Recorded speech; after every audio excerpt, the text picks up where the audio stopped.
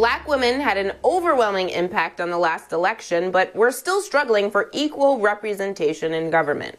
Currently, of the 435 representatives in the House, only 24 are black women, and not a single one of them is in a leadership position. And after Kamala Harris made history as vice president, that left zero women in black women in the Senate. Increased diversity among lawmakers can mean more inclusive and comprehensive policy decisions, especially in a pandemic that has disproportionately impacted women, black, and brown people. As I, Representative Ayanna Pressley says, the people closest to the pain should be closest to the power. But that's not just for Congress. The need for representation is important at all levels of government.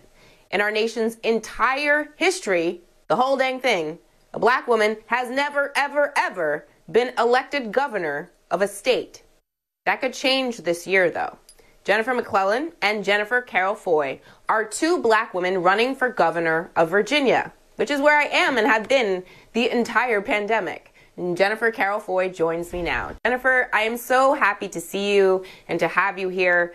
Uh, let's start with uh, talking about why diverse representation is so important.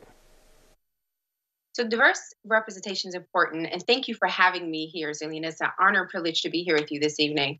It's important because we understand the policies that most impact our communities, especially marginalized communities, API, Black communities, millennials, so many people who have been ignored, neglected, and left behind.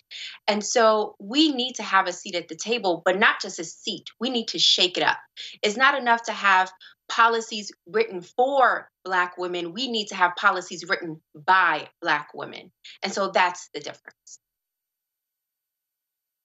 In terms of representation, um, as I mentioned, I'm here in Virginia, and Terry McAuliffe, uh, former Democratic Democratic governor here in Virginia, he's running again. So here uh, we have six-year terms, uh, and I guess he wants to do it again.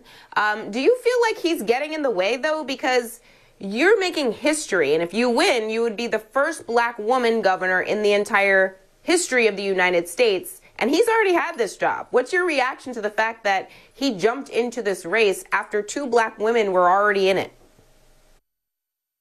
So, there are a lot of congratulations going around for Black women helping to save our democracy, for standing up for so many years and agitating and making forward progress. But our work is yet to be done. We have yet to have a Black woman lead this nation. Although we're so excited to have the first Black vice president and South Asian vice president in Kamala Harris. And we have never had a Black woman lead any state in this nation in our nation's history. And so we're ready to change that. It's not enough to ask us for our support and our vote, but you need to be there when we're ready to lead.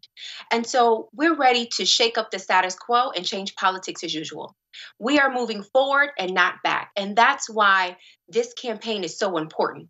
As a former public defender, foster mom, and one of the first women to ever graduate from Virginia Military Institute, one of the top military colleges in this country. Virginians are hungry for a leader who understands the challenges they face, who inspire them, and someone who they see themselves in. And that's why we will be successful and they'll vote for a Jennifer Carroll Foy administration.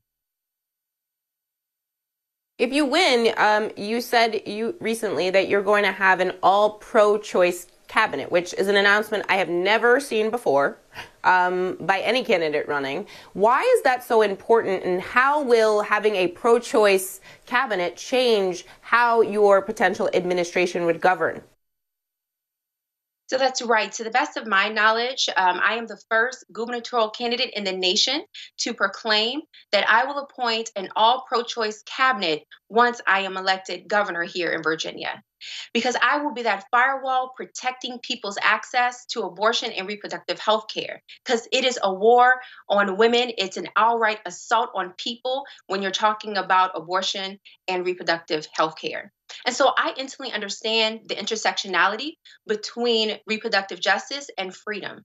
So my education secretary will ensure that there's comprehensive, evidence based, and age appropriate sex education that happens in our classrooms. Um, my secretary for public safety will ensure that incarcerated people are receiving neonatal care and reproductive health uh, care. And then when you have, talk even about the agricultural secretary, um, one of the core tenets of reproductive justice is ensuring that people who do decide to start a family have access to clean air and clean water. So it's all interrelated and it's all important. Absolutely. In terms of uh, some recent news, uh, you're opposed to the death penalty, and today Virginia actually voted to end it. What's your reaction to that finally happening, and why were you against the death penalty before today? So, Zerlina, let's be very clear. Um, people who look like you and I are more likely uh, to be charged and convicted in certain crimes, and we're most likely, especially if you're a Black male, to be sentenced to death. Um, and so there's racial bias there, there's economic bias there, because if you don't have money to pay for a retained attorney, you're more likely to receive the death penalty. And if you have an, a mental health issue, it's even, you know, more exacerbated and the numbers are more inflated.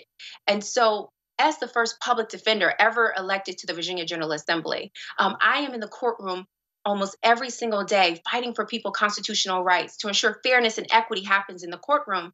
And unfortunately it doesn't always happen that way. And so there's a lot of bias that's mm. there. There's a lot of injustice that we're fighting for uh, fighting against. And so again, we have to make sure that we have people who understand uh, the challenges that families are facing. And that's why this uh, campaign, again, is so important because we're going to move forward on so many issues. So some people say that they're against the death penalty, but their vote their record and the things that they've done don't support it.